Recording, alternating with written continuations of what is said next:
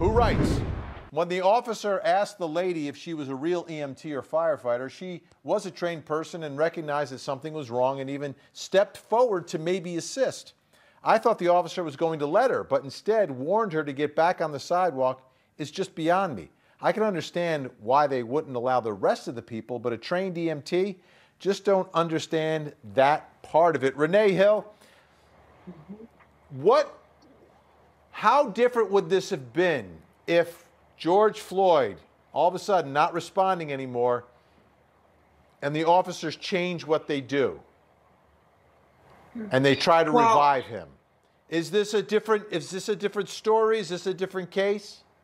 Yeah, it, it- it's absolutely a different case. If they recognized, uh, you know, or stopped the actions that they were doing, if he took his knee off of his neck, if he tried to revive him, if he tried to give some sort of assistance to to acknowledge the fact that he was killing this man because that's exactly what he was doing. But if he had stopped those actions and changed actions to try to assist in helping him, then it would be a different case. It certainly wouldn't be a murder charge uh, at that point.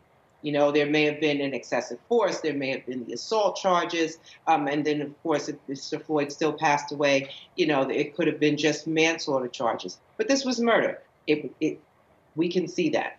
But certainly it would be different if they had changed their actions. Judy writing tonight, bystanders could see what was happening. Man killed in front of them. Officers not paying attention to the crowd. Restraining a man that is no longer struggling. Lawrence, let me go same question to you.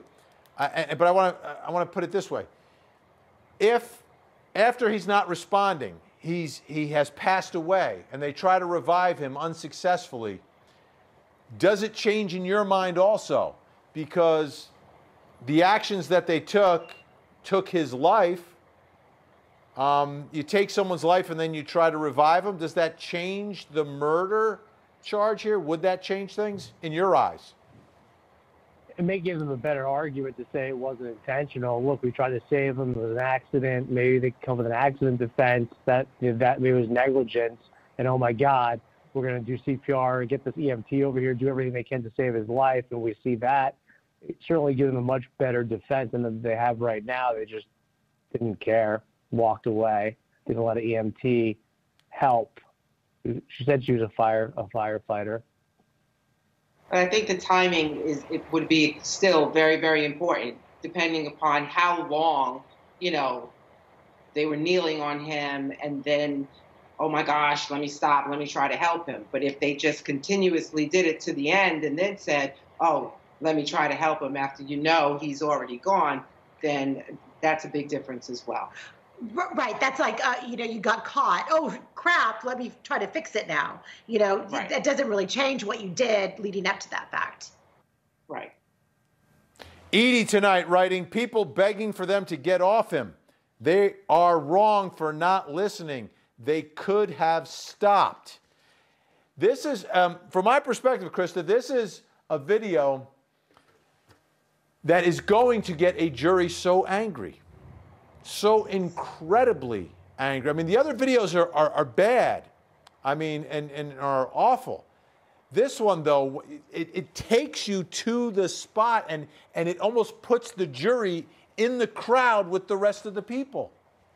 Yes, it does. And, you know, it's the best eyewitness testimony you have, right? It is, it is uh, not someone trying to remember anything. You are watching it as if you were there. I think that that's why many of us cry or get so emotional when we watch this video. And, you know, of course, a jury is going to feel the same way. They're going to have that welling up of emotion in there and thinking, oh my God, at all of these points along the way, everything could have changed and this could have been a totally different outcome. Could you imagine a world that this didn't happen, or this wasn't as bad as it was? You know, it, it, it just changed everything, that they wouldn't listen to anything. And they had to have known what they were doing. All right. Christa Ramey, Renee Hill, Lawrence Zimmerman, always great to have you on the program. Really appreciate it. Have a, a fantastic weekend. Thank you so much.